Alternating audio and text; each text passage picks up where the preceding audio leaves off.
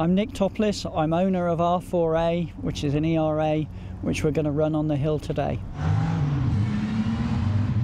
The car's so, so special because it's one of very few that were made. Um, it was probably the first purpose-built race car um, of its type in this country. So unbelievably special. In its day, you could almost see it as a, a spacecraft, a lunar landing machine. The history of the car is that it was built in 1935. It's chassis number four, which was built for a chap by the name of Pat Fairfield, who was a, a Liverpudlian stroke South African, and he was a private privateer, so a first private race car for ERA. Oh, I've been competing in motorsport for three years. All of those three years have been in historic and vintage racing.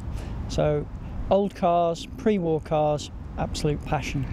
When I was in my 20s, I worked as a race engineer, um, and that was in every form of motorsport, starting off in Formula Ford, Formula 3, and then I went and worked you know, with Formula One cars and then Indianapolis cars in America. So all the way through the Formula cars, and even some um, work at Le Mans working on long distance sports cars. I compete in motorsports events that involve historic and vintage cars, and so that's sprints, hill climbs, and races, um, and that's in this country and Europe.